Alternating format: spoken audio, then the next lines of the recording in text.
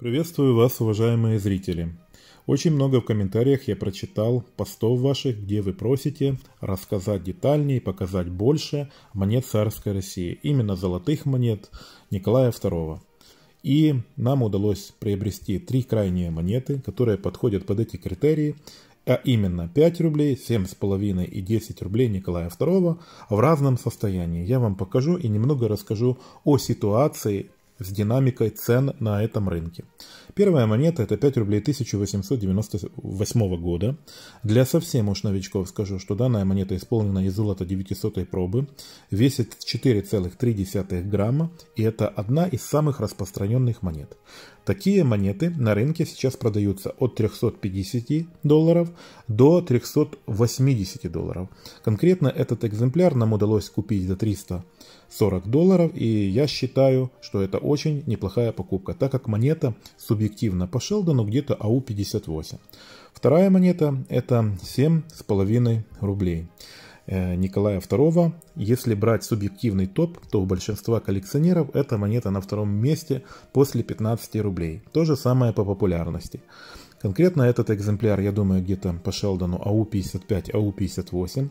По яркости поля точно АУ-58, потому что на реверсе очень много осталось в защищенных местах штемпельного блеска. Такие монеты сейчас на, рын на рынке продаются около 1000 долларов.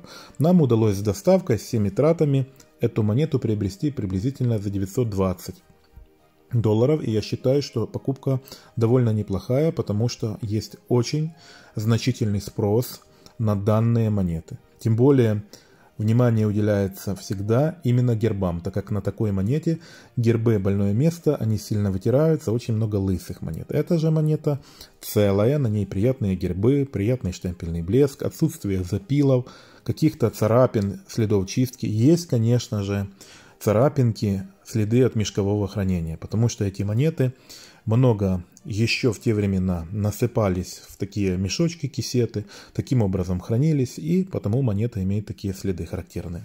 Ну, это даже хорошо. Третья монета это десяточка. Десяточка 1899 года, очень распространенная монета. Также 900 проба, вес 8,6, конкретно этого экземпляра 8,58. Монета, по нашему субъективному мнению, где-то АУ-53.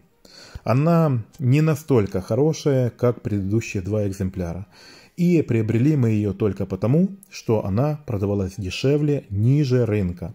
Такие монеты даются где-то от 620 долларов до 670. Почему такой разброс? Зависимо от яркости экземпляра. Такая монета может и за 700 продаваться, если очень яркий штемпельный блеск. А этот экземпляр нам удалось купить дешевле 600 долларов. Приблизительно с доставкой 585 долларов она обошлась.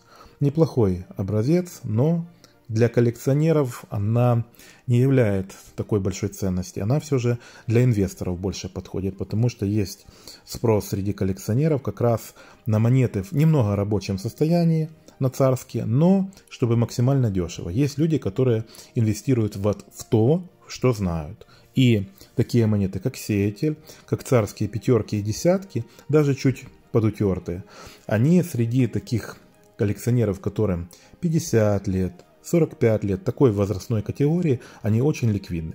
Часто бывает такое, что на клуб коллекционерский или даже в магазин приходят люди, люди и спрашивают именно такие монеты, именно такого порядка. Хоть они и сильно оторваны от металла в сравнении, например, с теми же монетами Латинского Союза или же суверенами. Вот сейчас вы можете на своих экранах увидеть фотографии, фотографии, по которым мы покупали эти экземпляры. Думаю, монеты неплохие. Информации я вам достаточное количество дал именно по ценовому коридору. Вы детально можете написать в комментариях, какие ценники у вас, Подобные монеты у вас продаются дороже или дешевле. Это все нам будет очень интересно обсудить в комментариях.